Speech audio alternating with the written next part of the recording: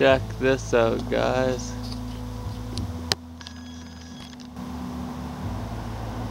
That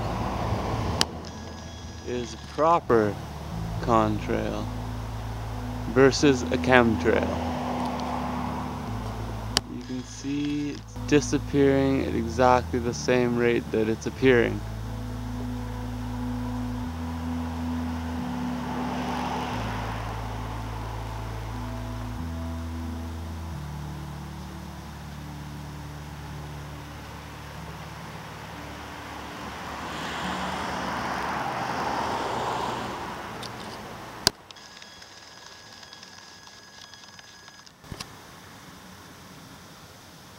There it goes.